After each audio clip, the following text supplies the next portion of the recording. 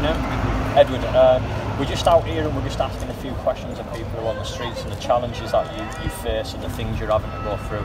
Are you alright to answer a couple of questions? Yeah, Yeah. yeah, alright, mate. Uh, sit down here. Yeah, good. So how long have you been uh, out here then? Uh, on and off three years, last three years. Have you, yeah, out of prison, yeah. Yeah. And how have you got here onto the streets? Where were you before that? To be honest, I was working. I was uh, su- cleaning supervisor at Morrison's. Were you? Night supervisor. Right. Um, mother passed away. Split with my partner long term. And uh, I just, it just spiraled down. Yeah. I mean, I've been in addiction for like 28 years. Yeah. I've been on methadone for since 2006, but this death and the split, it just rocked me and Yeah. it sent me my head all. Yeah. I couldn't cope and it started, you know, snowballing to come Yeah. back cocaine, heroin, stuff like that. Um, and that led me on the streets. Um, It seemed- involved with police and stuff like that. Yeah. It seems to be a common theme that there's been a trigger when we spoke to people. There's been some trigger like that, losing a job, a parent, a relationship breakup, and things have just kind of, like you say, just spiraled out of uh, out of control to a point where people are on the streets. Um, are you um, are you okay? Me asking you, are you dependent on any sort of drugs or yeah, alcohol? I'm- yeah, depending on uh, heroin. On Not heroin, alcohol. uh, yeah. You're not dependent on crack cocaine. It's, it's, uh, it's not. It's physical. Isn't it? It's not addictive as, as in. It's more mental. Crack cocaine. It's not. You know. It's not. Is it right? And her- how addictive is heroin? Well, my mates have died. You know, I've lost a lot of friends over it. So? Yeah. It's very addictive. Very hard to get off. Yeah. Um, they say, you know, you end up dead in prison or recovery. That's three options you've got really in life. And I'm pushing to to go to rehab recently. Oh, yeah, that's really good. uh, Yeah. yeah. And I if you- live this life all. And if you got a rehab, where would you? What would be the next steps from you from there? What would be the next progression if you could if you could get off the heroin? Yeah, I probably moved uh, cities, mate. Yeah. yeah. Yeah, just a all new, you know, scene, new, uh, Something different. new environment. Yeah. Yeah. But I've always, um, I've always been into army, and that's one of my big downfalls, me. Because I wanted to, you know, as a young kid, Yeah. I wanted. It's me, me um, granddad and that were in, in wars and stuff like that. So What were they in? I'm, I'm ex-army myself. I'm ex-Royal Engineers. yeah. Uh, my, my granddad was signals, signals. Signals, yeah. And what about you? Did you did you apply for army training? Any sort of cadets? Anything Um, like any background like that?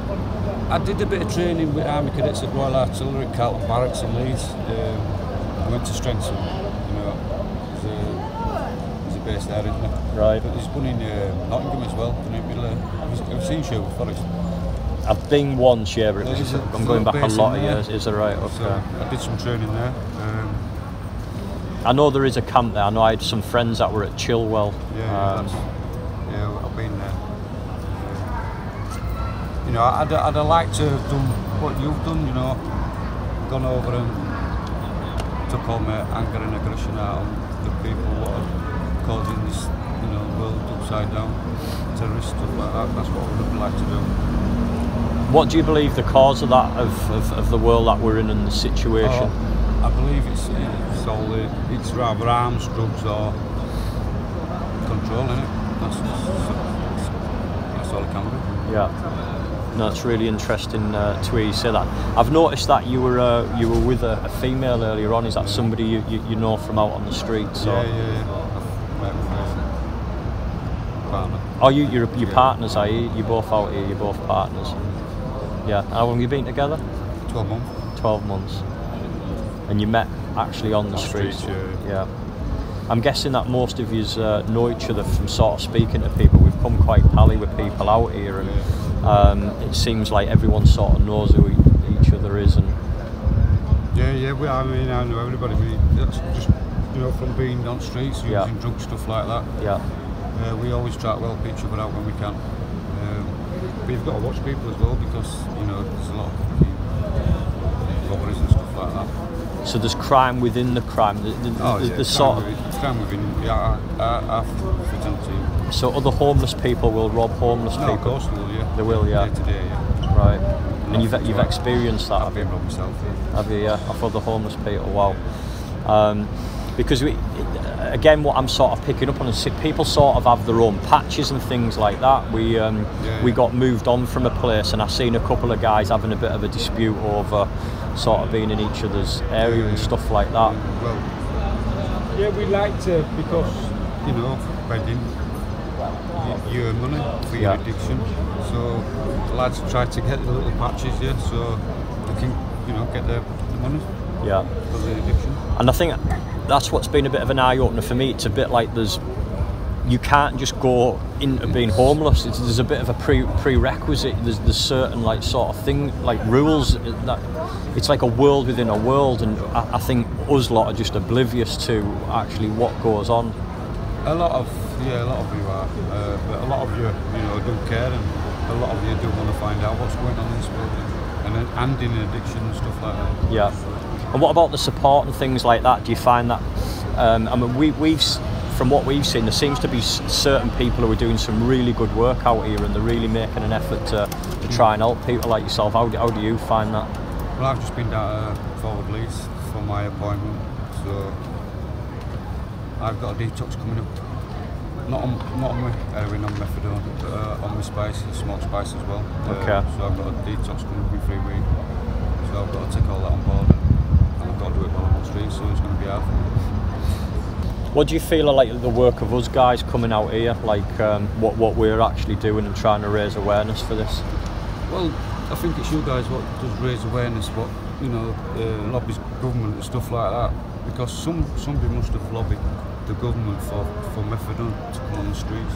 Yeah. You know, because there's heroin addicts in sixties and stuff like that. So I think it's a you do, you're doing a good job. Yeah. No, it's good to hear. Um, because we, before I come out here, I got a bit of criticism myself of saying that um, it's maybe um, you're patronising the homeless people and things like that coming out here and me staying out on the streets. You don't really understand because you can go back to your warm bed and stuff like that. Um, and I totally get that. But for me, it was just I want to I want to experience it at that. It, it's all right hearing it from you, but Yeah. that first night I'm laid in a doorway and, and my back's fucking hurting and it's cold and I'm thinking fucking hell. It's, yeah. It's my hips on the night. Yeah.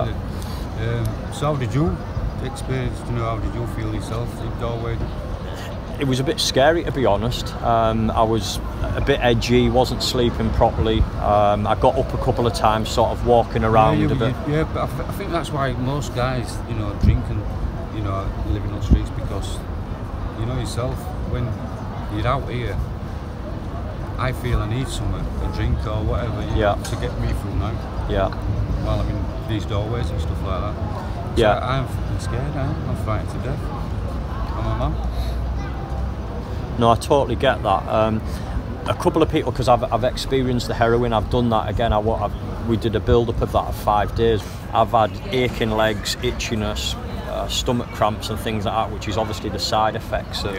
Um, These are two. Yeah. Um, after five days, would you start having effects? Would you, you believe five consecutive days, like I've done? You're Five, gonna five yeah. days of use, you mean? Yeah. Yeah, yeah, you'd feel it, course you would. Yeah. Um, you know, I've never uh, just took it for five days. Um, I've always Been continuous. continuous for me. So I don't believe that five days you still would have the, you know, normal um, rattle. Yeah. You know, and that's took up to like seven weeks to get everything out of your system. Yeah. Seven weeks. Yes. Bloody hell. You know, to, Yeah. for your sleep back to get back to normal. Yeah, um, I, I didn't sleep. I haven't been sleeping very well. That's obviously partly because I'm outside as well. But what I've noticed is my appetite is like totally gone. And normally I eat a lot of food. I'm quite regular in the gym and things like that. But my appetite is it's back a little bit today, to be honest. But uh, Can't Hiya, love. Have you got a visitor, I am, love, sorry. Has one of you got a visitor? No. we haven't. no, Oh, no. sorry. Oh, sorry. All right.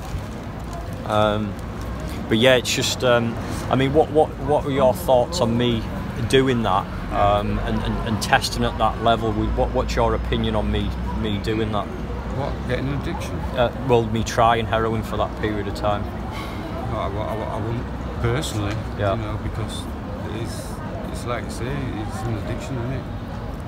How, how, how are you going to feel after that seven week? You know, Yeah, You know, are you going to use again yeah, because you liked it? You, you felt that warm blanket. You felt that you know, that care, you didn't have caring will. And that's the addiction part of it, isn't it? It's Yeah. not knowing if you're going to take it again.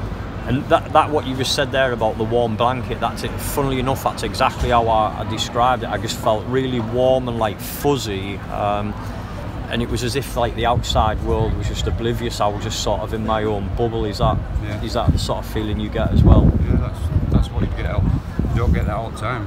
You know, once you've got your addiction, your tolerance level it peaks. Do you know what I mean? So Yeah. you you got to keep using and using, and I that's it. No, I really appreciate that. Is there anything that us guys could do that would, would help you sort of support you any sort of way? And Well, uh, while we're on streets, yeah. just um, yeah, it's just sleeping bags, stuff like that. So things like that, yeah. Um, well, we're, we're about and we're certainly looking to um, do a bit of a donation or something like that at some point. We, we'd love to be able to catch up with you, uh, Yeah. probably on Thursday or something like that, and uh, see where we can we can sort of help and support. If you had a message for anyone watching this, the public, is there anything you'd sort of say to, to anyone who, who may watch this? Um, you know, it could be your own brother or sister or member of family. Just try to give them as much support and help you can. It's, it's a frightening place, it is.